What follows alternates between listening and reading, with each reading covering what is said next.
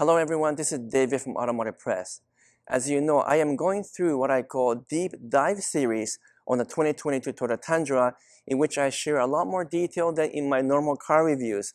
And that's because there's so much to share and so much to talk about when it comes to 2022 Toyota Tundra.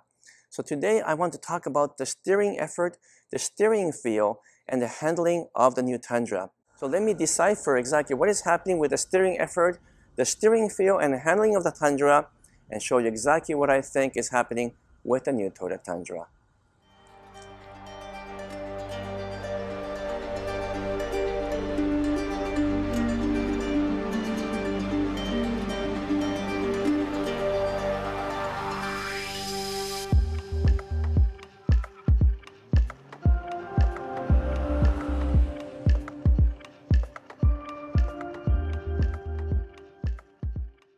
So in this video, I really want to focus on something that is very important to me, which is the steering feel and the handling of the Tundra.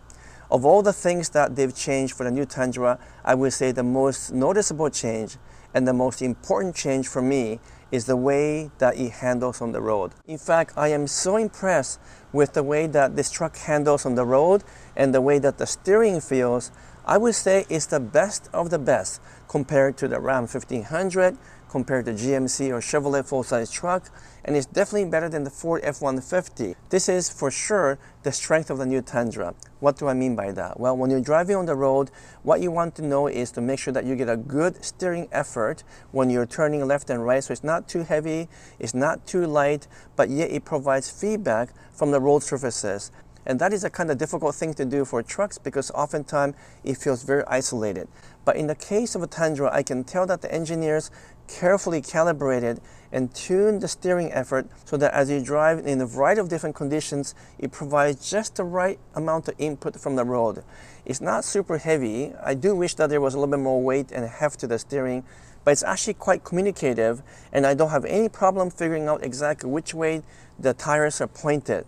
Keep in mind that for 2022, they did move from hydraulic steering to the electric steering, and oftentimes that leads into uh, less effort and less uh, communicative feel for the steering.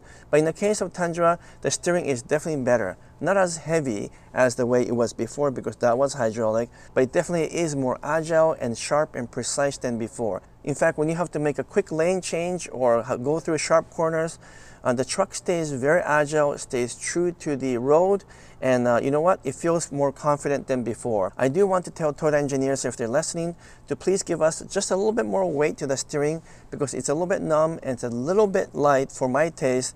But for most truck drivers, they're going to find it just feeling right. But don't take my words for it. Take the Tundra out on the road, go through some twisted turns if you can, and then right after or right before that, go and drive the competitor's car the Ford F-150, the Ram 1500, and the GMC and the Chevrolet Twins. And you'll notice that the steering effort on this is actually really good. I will say that when it comes to the, the weight and the steering effort, uh, it's hard to beat the GMC and the Chevrolet Twins.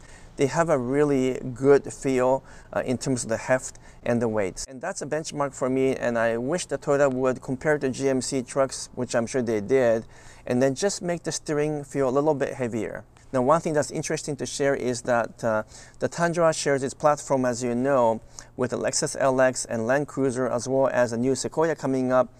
But only the Land Cruiser 300 series kept the hydraulic steering.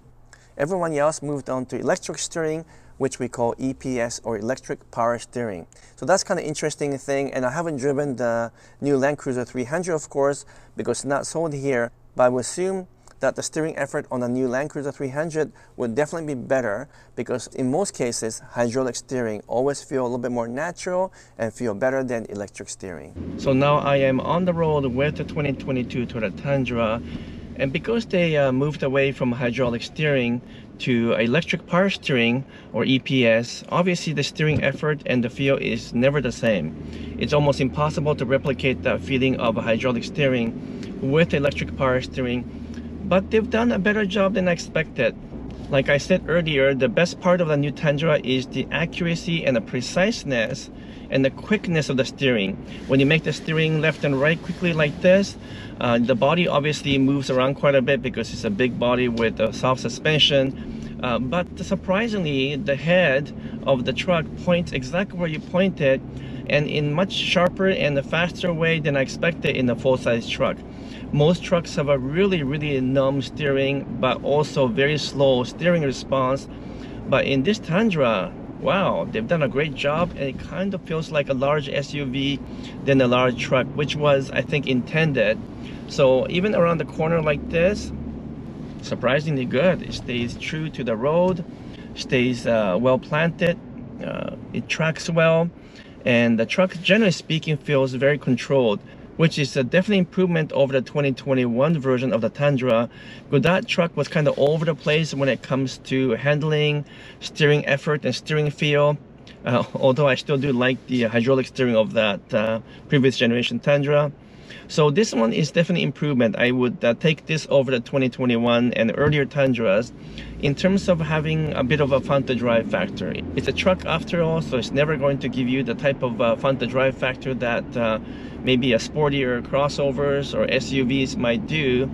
But you know what? This is surprisingly good. I don't mind driving this day to day and be able to uh, take it even for a bit of uh, off-roading because of the preciseness of the steering and the predictability of the steering and the fact that it gives you the confidence level that uh, perhaps the earlier Tundra did not offer and did not have. I think the most important thing to keep in mind is that Toyota engineers will continue to calibrate this Tundra in terms of steering effort, in terms of the drivetrain, uh, transmission, all that stuff. So it should continue to improve.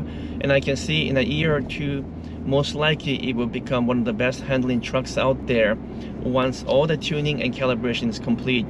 Because in terms of pure handling and in terms of pure steering effort and accuracy, it already is one of the best trucks out there. So I just wanted to focus on the steering effort and the handling on this particular video. But that's all for now. I'm going to go through more deep dive series and talk about other aspects of the Tundra. So please stay tuned because there's a lot more to come. Thank you so much for watching. I'm signing off for now.